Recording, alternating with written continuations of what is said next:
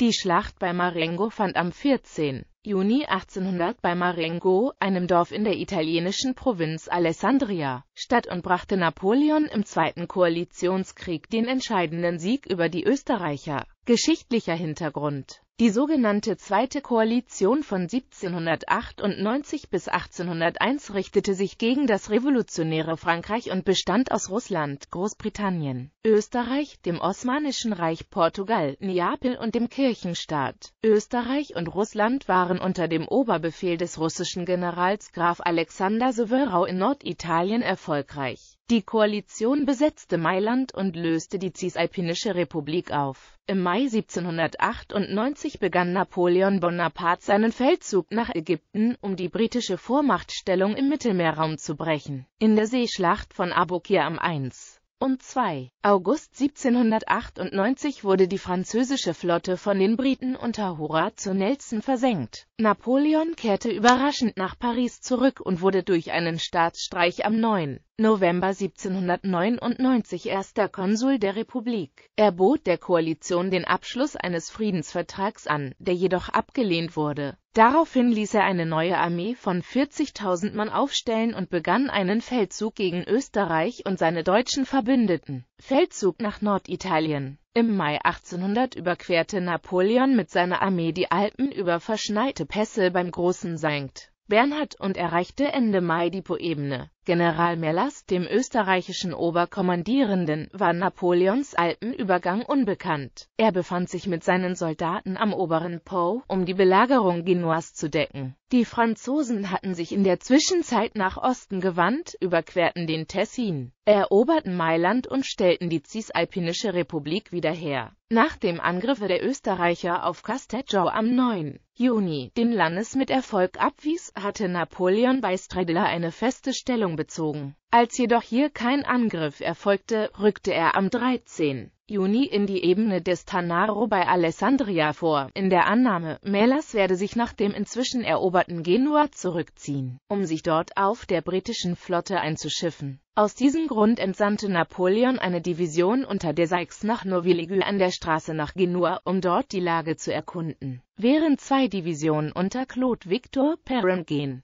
Victor das Dorf Marengo besetzten. Eine Division unter Jean Lannes blieb in der offenen Ebene zwischen Marengo und Castel Ceriolo stehen und Napoleon selbst zog sich mit einer Division nach Torre di Garofalo zurück. Schlachtverlauf Melas, der in Alessandria selbst stand, hatte sich inzwischen entschlossen, durch die feindliche Armee nach Piacenza durchzubrechen, und begann am 14. Juni bei Tagesanbruch den Fluss Bormida auf drei Brücken zu überschreiten. Um 9 Uhr griffen die Österreicher die Franzosen, die in ihrer Zersplitterung auf eine Schlacht nicht vorbereitet waren, in Marengo an. Die Franzosen schlugen, geschützt durch einen tiefen sumpfigen Graben, zweimal die Angriffe der Österreicher zurück. Gegen Mittag gelang es den Österreichern im dritten Anlauf Marengo zu erstürmen und die Franzosen zum Rückzug zu zwingen. Erst jetzt erschien Napoleon mit der Division Monnier und der Konsulargarde und versuchte, durch Verstärkung der Flügel die Schlacht zu wenden allerdings erfolglos, denn das Zentrum der Franzosen war vollständig durchbrochen und Napoleons Truppen mussten sich zurückziehen. Der 71-jährige Mellers war von seinem Sieg überzeugt und zog sich durch die Strapazen und eine leichte Wunde erschöpft nach Alessandria zurück, um seinen Erfolg zu verkünden. Er überließ seinem Generalstabschef General von Zach die Verfolgung des Feindes. Um drei Uhr nachmittags erschien plötzlich der Seix auf dem Schlachtfeld der auf seinem Marsch nach Novi den Kanonendonner von Marengo her gehört hatte und sofort dorthin geeilt war. Ohne zu zögern, griff er mit seinen 5000 Mann die Österreicher an, während Marmont die Geschütze auf die vorderste Kolonne des von Ach befehligten Feindes richten ließ. De Sykes wurde durch eine Kugel tödlich getroffen und starb noch auf dem Schlachtfeld. Die Österreicher versuchten erneut vorzudringen aber Kellermann durchbrach mit seinen Drängnern die feindliche Flanke und konnte Zach und 2000 Mann abschneiden, die sich daraufhin ergaben. Zu diesem Zeitpunkt drehte sich die Schlacht endgültig. Die Franzosen sammelten ihre Kräfte und konnten einen erneuten Angriff vortragen, dem die Österreicher nicht standhielten und zurückwichen. Ihre Reiterei ergriff offen die Flucht und riss auch das Fußvolk mit sich fort, so dass schließlich völlige Panik ausbrach und sich die Truppen der Österreicher in wirrer Unordnung über den Bormida zu retten versuchten. Fast die gesamte österreichische Artillerie fiel in die Hände der Franzosen. Außerdem verloren die Österreicher 6.400 Mann an Toten und Verwundeten und rund 3.000 Soldaten gerieten in Gefangenschaft. Die Franzosen hatten etwa 7.000 Tote und Verwundete zu beklagen. Die Folgen Der Sieg in der Schlacht von Marengo brachte Oberitalien wieder unter französische Kontrolle. In der Zwischenzeit waren französische Truppen unter General Jean-Victor Moreau über den Rhein nach Süddeutschland vorgedrungen und hatten München besetzt. In der Schlacht bei Hohenlinden am 3. Dezember 1800 hatte Moreau die letzte österreichische Armee unter Erzherzog Johann besiegt und marschierte in Österreich ein. Die Franzosen bedrohten Linz und Österreich stimmte schließlich einem Friedensvertrag zu. Am 9. Februar 1801 bestätigte Kaiser Franz II. von Österreich im Frieden von Luneville die Abtretung des linken Rheinufers an Frankreich. Weiterhin erkannte er die Existenz der batavischen, helvetischen, cisalpinischen und ligurischen Republik sowie das neue Königreich Etrurien an. Es folgten Friedensschlüsse Frankreichs mit Neapel, Portugal, Russland und dem Osmanischen Reich. Am 27. März 1802 kam es schließlich zum Frieden von Amiens mit Großbritannien. Misszellen die Schlacht bei Marengo bildet den historischen Hintergrund von Victorine Sades Drama La Tosca und der darauf basierenden Oper Tosca von Giacomo Puccini. Nach der Schlacht von Marengo musste natürlich auch gut gespeist werden. Leider ging der gesamte Verpflegungstross der Franzosen verloren. Deshalb musste Napoleons Küchenchef Dunant improvisieren und schickte Soldaten los, etwas Essbares herbeizuschaffen. So brachte ein ausgesandter Soldat ein Huhn, der nächste einige Tomaten, der dritte ein paar Eier und ein vierter zwei Krebse. Damit waren die Zutaten für die Noche Marengo komplett. Insgesamt ein nicht alltägliches Rezept, das bis heute nicht nur in Frankreich beliebt ist, siehe auch Liste von Schlachten, Liste der Kriege